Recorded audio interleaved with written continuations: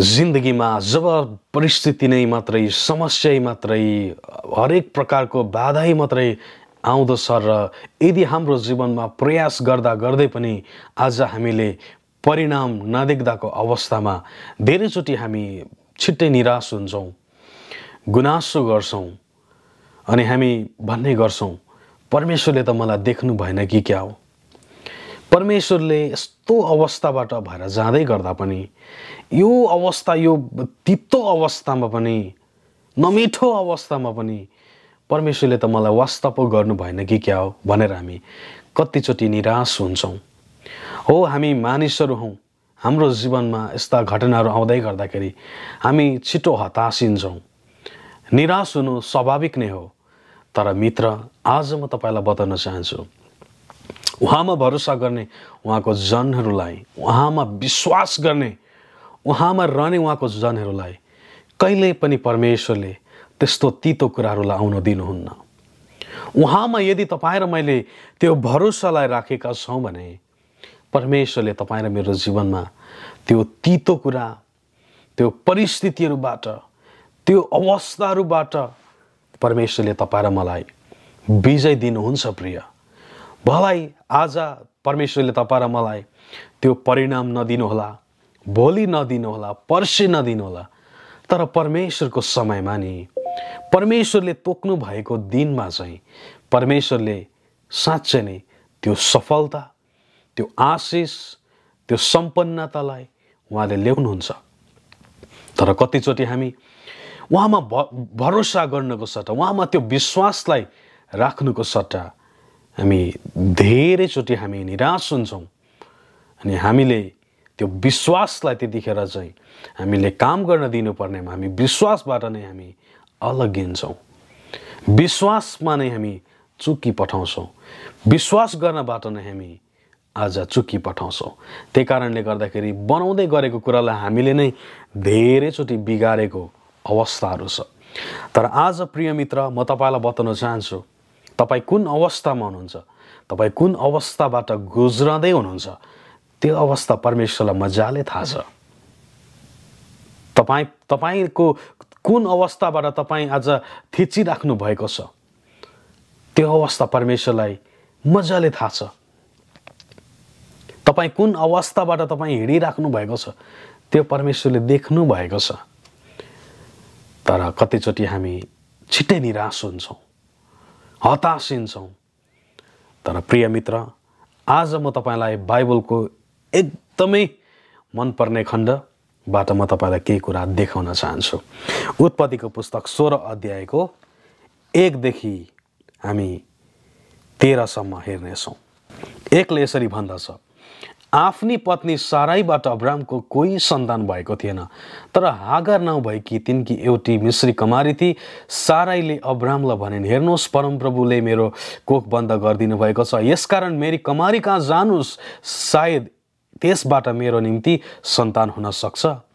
अब्रामले साराईको कुरा माने। अब्राम कनानमा बसेका दस वर्षपछि तिनकी पत्नी साराईले आफ्नी कमारी मिश्री हागरलाई आफ्ना पति अब्रामलाई तिनकी पत्नी हुनलाई दिइन्।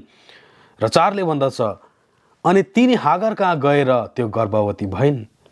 जब त्यसले म गर्भवती भएछु भनी थाहा पाए तब त्यसले आफ्ना मालिकनीलाई तुच्छ दृष्टिले हेर्न लागि।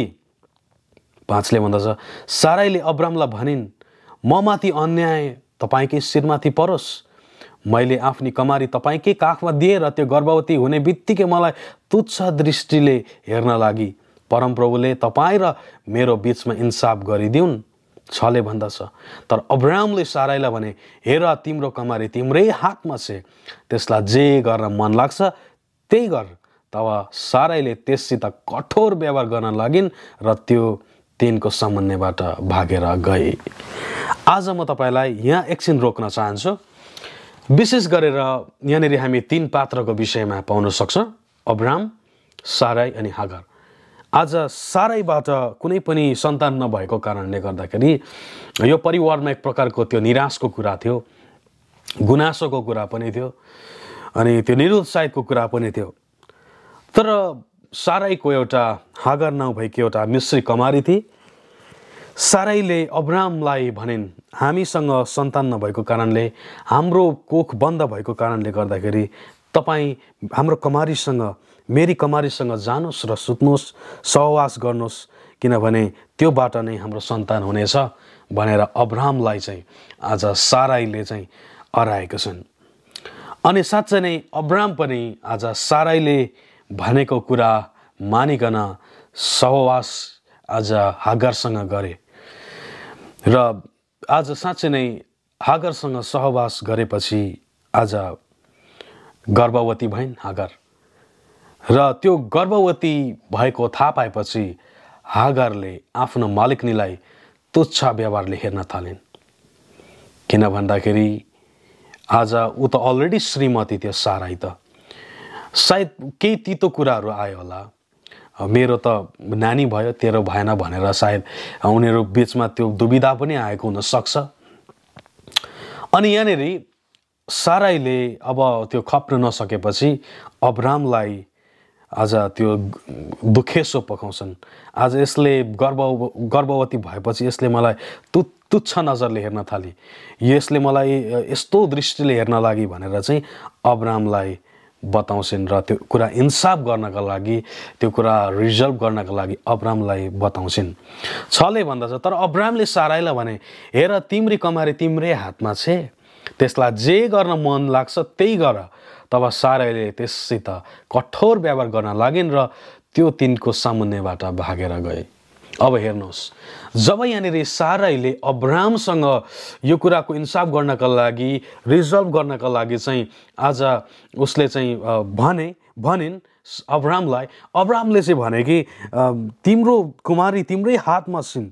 तिमीलाई जस्तो जे गर्नु मनपर्छ तिमीले गर्न सक्छौ भनेर अब्रामले पनि यहाँनिर आज अधिकार दिएपछि यहाँनिर साराईले के गर्न थालिन्? आफ्नो कमारीसँग कठोर व्यवहार गर्न थालिन्। त्यहाँदेखि उता चाहिँ साराईले पनि सायद यहाँ थिचोमिचो गरिन् होला उसलाई आज उसको विरुद्धमा बोल्न थालिन् होला उसलाई होच्याएर बोल्न थालिन् होला अनि त्यही कारणले गर्दाखेरि अब हामी यहाँ साथमा हेर्नेछौँ परमप्रभुको दूतले त्यसलाई उजाड स्थानमा सुरतिर जाने बाटोकै पानीको मूलतिर भेटाए। अब यहाँनिर कठोर व्यवहार गरेको कारणले साराईले चाहिँ कठोर व्यवहार गरेको कारणले भागिन् र साथले भन्दैछ परमप्रभुको दूतले त्यसलाई उजाड स्थानमा सुरतिर जाने बाटोकै पानीको मूलतिर भेटाए। एउटा पानीको मूल आज स्वर्गदूतहरूले भेटाउनु भयो र आठले भन्दछ र तिनले सोधे ए साराईको दासी हागर कहाँबाट आइस र त कता जाँदैछस्? त्यसले भनी मेरो मालिक नि साराईको सामुन्यबाट भाग्दैछु। हागरले भनिन् म मेरो मालिक नि साराईको सामुन्यबाट भाग्दैछु। किनभने साराईले कठोर व्यवहार गर्न लागेन्। जब अब्रामसँग उसले कुरा गरिन् हेर्नुहोस् हाम्रो कमारीले चाहिँ यस्तो गरिराखेको छ ऊ गर्भवती भएपछि मलाई तुच्छ दृष्टिले हेर्न थाली। तपाईँले नै यसको इन्साफ गरिदिनुहोस् भन्दै गर्दाखेरि अब्रामले त के भने तिम्रो मालिक ए कमारी चाहिँ तिम्रै हातमा छ। तिमीले जस्तो गर्नु मनपर्छ त्यस्तै गर भन्दै गर्दाखेरि यहाँनिर थिचोमिचो भएको कुरा हामी सजिलो बुझ्न सक्छौँ। उसलाई हेपियो उसको कुराहरू खसालियो होला। त्यही कारणले ऊ भाग्नु पर्यो। अनि यहाँनिर प्रभुको दूतहरूले चाहिँ उजाड स्थानको एउटा पानीको मूलतिर चाहिँ एउटा त्यो स्त्रीलाई त्यो भागारलाई चाहिँ भेटाउनुहुन्छ। अनि यहाँ नौले भन्दछ परमप्रभुको दूतले त्यसलाई भने तेरी मालिकनी कहाँ फर्केर जा र तिनकै अधीनमा बस हेर्नुहोस् परमप्रभुको दूतले के भन्नुभयो? फर्केर तेरो मालिकनी भएकोमा जा त्यसकै अधीनमा बस दसले भन्दछ परमप्रभुको दूतले फेरि त्यसलाई भने म तेरो वंशलाई यति अवधि बढाउने छु कि त्यो धेरै भएकोले गन्न सकिने छैन। नौले भन्दछ। परमप्रभुको दूतले त्यसलाई भने त गर्भवती शेष र तैँले एउटा छोरो जन्माउनेछस्। तैँले त्यसको नाउँ इस्माइल राख्नु। किनभने परमप्रभुले तेरो दुःख देख हेर्नु भएको छ। बाह्रले भन्दछ मानिसहरूमा त्यो जङ्गली गदा जस्तै हुनेछ। त्यसको हात सबैको विरुद्ध उठ्नेछ र सबैको हात त्यसको विरुद्ध उठ्नेछन्। आफ्नो सबै नातेदारहरूकै शत्रुतामा त्यो बसोबास गर्नेछ। तेह्रले भन्दछ हागरले आफूसित कुरा गर्नु हुने परमप्रभुलाई यस्तो नाउँ दिई मलाई देख्नुहुने परमेश्वर तपाईँ हुनुहुन्छ। किनभने त्यसले भने मैले साँच्चै नै परमेश्वरलाई देखेकी छु र उहाँलाई देखेर पनि म जीवितै छु। आमेन आमेन आमेन। यस्तो बावजुद पनि यस्तो परिस्थितिको बावजुद पनि परमेश्वरले यहाँनिर आशिषको कुरालाई ल्याउनु भयो दसलाई हेरौँ। परमप्रभुको दूतले फेरि त्यसलाई भने म तेरो वंशलाई यति धेरै बढाउने छु कि त्यो धेरै भएकोले गन्न सकिने छैन। हेर्नुहोस् परमेश्वरको आशिष। यस्तो परिस्थितिको बिचमा पनि परमेश्वरले काम गर्दै हुनुहुन्छ। परमेश्वरले के के भन्नुभयो यहाँनिर? त्यो दूतले चाहिँ के भने तेरो वंशलाई यति अवधि बढाउने छ कि त्यो धेरै भएकोले गन्न सकिने छैन। परमेश्वरले आज हागार यस्तो अवस्थामा हुँदाखेरि पनि आज उत्साहको कुरालाई ल्याउनु भयो आशिषको कुरालाई ल्याउनु भयो परमेश्वरले यहाँनिर आशिष अब भविष्यमा आउने आशिषलाई समेत यहाँ देखाइदिनु भयो। प्रिय मित्र राम्रो कुरा चाहिँ अझ यहाँ के छ भनेदेखिलाई तेह्रमा हागरले आफूसित कुरा गर्नुहुने परमप्रभुलाई यस्तो नाउँदी मलाई देख्नुहुने परमेश्वर तपाईँ हुनुहुन्छ। किनभने त्यसले भने मैले साँच्चै नै परमेश्वरलाई देखेको छु र उहाँलाई देखेर पनि म जीवितै छु। प्रिय हामी कुन अवस्थाबाट भएर गइराखेका छौँ? परमेश्वरले देख्नुहुन्छ। परमेश्वरले जान्नुहुन्छ जसरी अब्राम सराई हागरको जीवनमा जुन उतार चढावहरू भइराखेको थियो जुन समस्याहरू भइराखेको थियो परमेश्वरले देख्नु भएर त उहाँले आफ्नो दूतहरू पठाउनु भयो त हागरको सामुन्ने। परमेश्वरले जान्नु भएको त्यो उनीहरूको त्यो भित्रको गुनासो त्यही भएर त परमेश्वरले आफ्नो दूतहरू चाहिँ आज आज हागर भएको सामुन्ने पठाउनु भयो।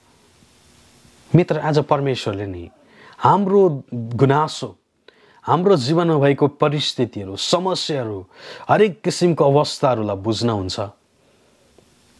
उहाँले देख्नुहुन्छ।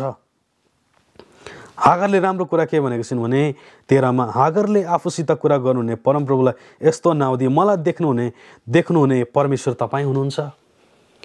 यस्तो अवस्थामा पनि देख्नुहुने परमेश्वर त तपाईँ हुनुहुँदो रहेछ भनेर चाहिँ आज हागरले भनिन् किनभने त्यसले भने मैले साँच्चै नै परमेश्वरलाई देखेको छु र उहाँलाई देखेर पनि म जीवितै छु। हागरले पनि के भने मैले परमेश्वरलाई देखेँ। परमेश्वर आउनुभयो। परमेश्वरले मेरो समस्यालाई देख्नुभयो। त्यही कारणले गर्दाखेरि मैले उहाँलाई देखेको छु र उहाँलाई देखेर पनि म जीवितै छु। आमेन आमेन आमेन परमेश्वरले हाम्रो अवस्थालाई बुझ्नुहुन्छ देख्नुहुन्छ। तर कतिचोटि हामी निराश भएर त्यो समस्याबाट हामी भागी पठाउँछौँ अनि हामी ख्रिस बाहिर जीवन बिताउन पनि थाल्छौँ। परमेश्वरले देख्नु भएन परमेश्वरले वास्ता गर्नु भएन परमेश्वरले मेरो अवस्थालाई बुझ्न भएन भनेर हामी कतिचोटि निरुत्साहित भइकन हामी त्यो अवस्थाबाट भागेर ख्रिस बाहिरको जीवन हामी जिउन सुरु गर्छौँ। तर मित्र जसरी परमप्रभु परमेश्वरले आज हागरको अवस्थालाई बुझ्नुभयो। एउटा गर्भवती स्त्री कति गाह्रो हुन्छ त्यो अवस्थामा।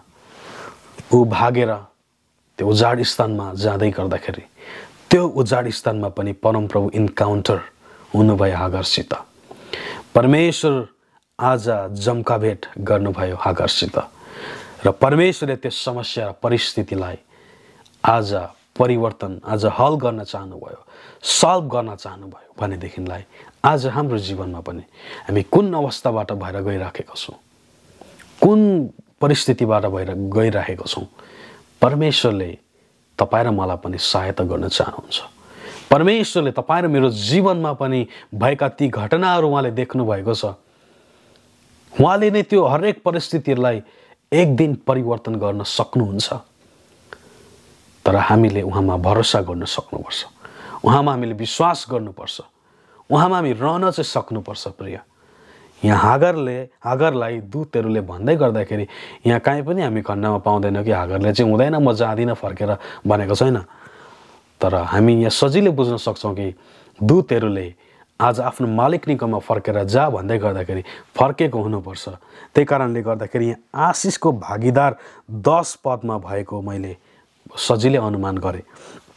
परमप्रभुको दूतले पठाउनु भयो अनि हागर गएकै कारणले सायद यहाँ परमेश्वरले आशिष पनि दिनुभयो। यहाँनिर समस्याको बावजुद पनि परमेश्वरले आशिष दिने कुरा प्रतिज्ञा गर्नुभएको छ।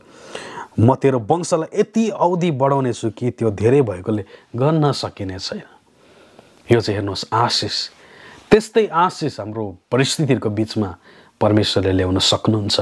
यदि हामीले उहाँमा भरोसा गऱ्यौँ भनेदेखिलाई यदि हामीले उहाँमा हाम्रो विश्वासलाई राख्यौँ भनेदेखिलाई हामीलाई कुनै पनि परिस्थिति र समस्याले हामीलाई लडाउने छैन। आमेन। त्यही कारणले गर्दाखेरि म तपाईँलाई बताउन चाहन्छु हामीलाई परमेश्वरले देख्नुहुन्छ हामी कुन अवस्थामा परिस्थितिमा छौँ विश्वासलाई डगमगाउन नदिउँ विश्वासलाई बलियो बनाऊ परमेश्वरले हाम्रो समस्या परिस्थितिलाई सजिलै आज हामीलाई त्यस समस्याबाट विजय दिनुहुन्छ। आमेन। जय मेसी